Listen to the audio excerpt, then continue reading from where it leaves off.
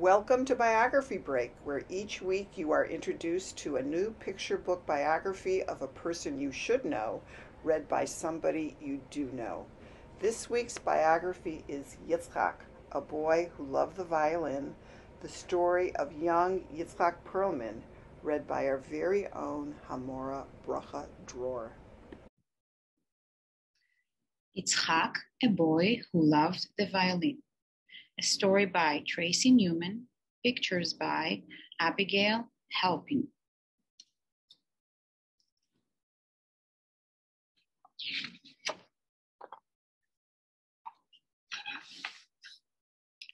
The Perlman's tiny apartment seemed ordinary, a single room walk up with just one window looking out onto the traffic of downtown Tel Aviv and no bathroom of its own. Yet a little kitchen radio transformed the simple home. Graceful classical symphonies, lively klezmer folk tunes, soulful cantorial chants, rich melodies, and vibrant rhythms fill this home and the ears and souls of the littlest Perlman, transforming baby Itzhak too.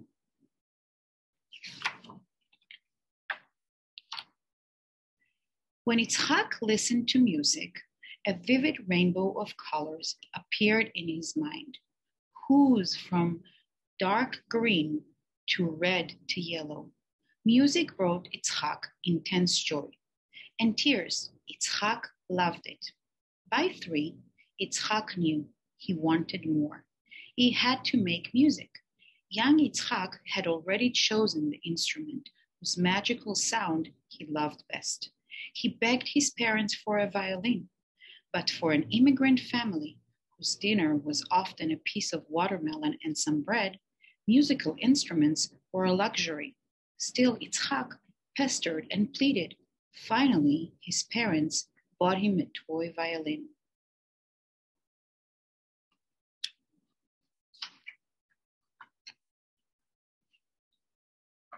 At first, little Itzhak laughed with delight but he quickly recognized that his violin didn't sound like those the master violinist played. His music wasn't as clear as Jascha Heifetz, as intense as Isaac Stern's, or as enchanting as Ida Haendel's. Disappointed, Itzhak gave it a whack and threw it under his bed.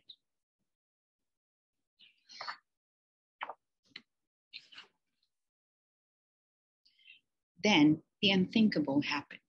Polio swept through Israel. Four year old Itzhak became infected with the deadly disease. He lay hospitalized, fighting for his life.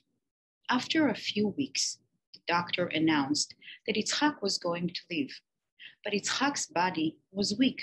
He couldn't move his arms or legs. At least he could go home.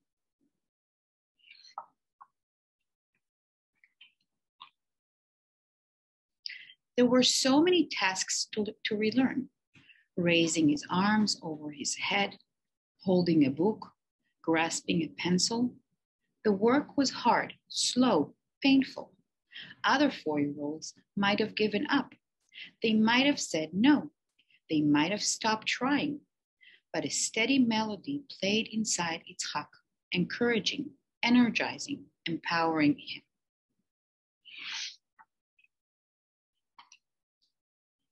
A year of stretching, straightening, a strengthening paid off. Itzhak could move his hands and arms again, but his legs remained paralyzed. Itzhak would always need crutches or braces to walk. Crutches or not, Itzhak didn't just sit in his room. His family moved to the suburbs, enabling Itzhak to go to school on his own.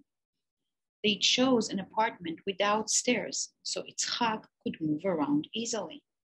Crutches even helped his soccer game. To Itzhak, these adjustments were no big deal. When you're four years old, you get used to things very, very quickly.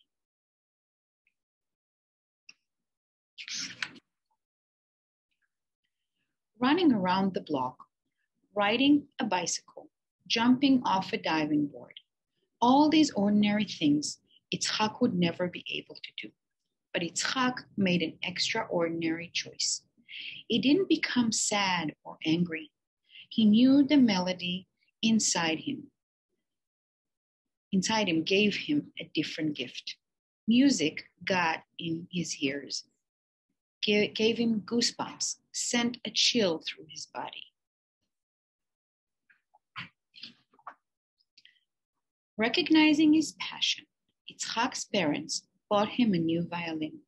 Crutches meant Itzhak could not stand like most violinists, but Itzhak declared, I don't have to play it standing up.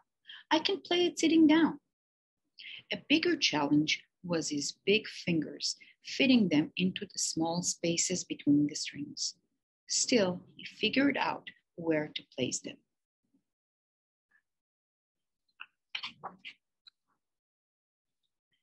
Itzhak began studying the violin with a strict and old fashioned teacher. Do what I tell you. Don't ask any questions, she said. Itzhak had to practice for two or three hours every day. Making music filled Itzhak with joy, but practicing didn't. So Itzhak found some unusual ways to manage. Sometimes he would sneak outside watching construction trucks pour concrete. Other times he boing, boing, boing his, viol, his bow on the string, only pretending to play. If his parents asked why the room was so quiet, Itzhak explained that he was perfecting a new method, practicing inside his head.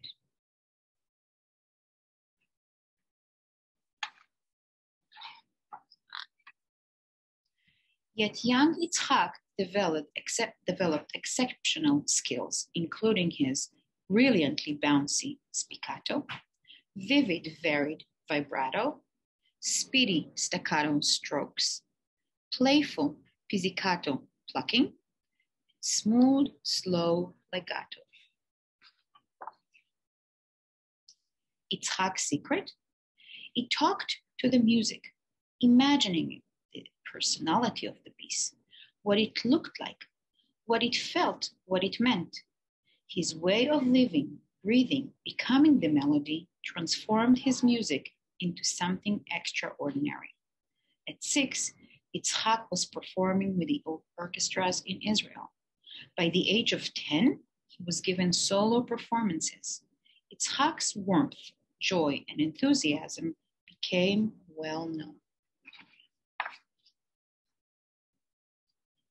Some people doubted that the violinist could only uh, can, could play well sitting down.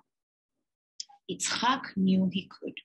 Later, he explained, I can't walk very well, but I'm not on stage to do walking. I'm on stage to play. Obstacles were ordinary things Itzhak just had to get used to. But the irresistible melodies vibrating inside his mind propelled and fortified him. And so he refused to give up. At 11, he wrote to the National Symphonic Orchestra, the Israeli Philharmonic. I hereby request that you give me an audition. To play, I have the following pieces ready. Please answer as soon as possible. Sincerely, Itzhak Perlman.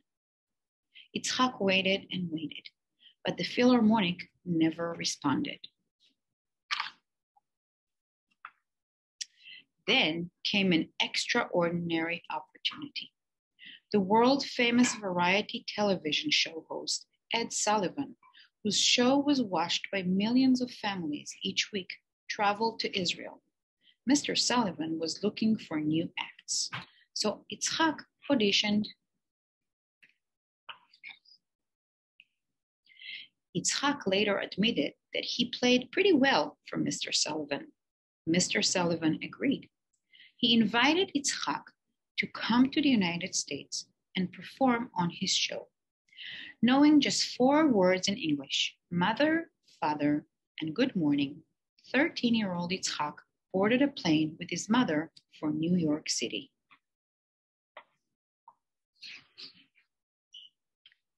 On November, on November 2nd, 1958, Itzhak sat on the stage of the Ed Sullivan Theater, smiled his broad smile, propped his violin under his chin, and began to play. Watching the young, round faced boy, the, the audience became mesmerized. Within days, bags, bags of, full of letters poured into the show, begging for Itzhak to perform again. His life would never again be ordinary.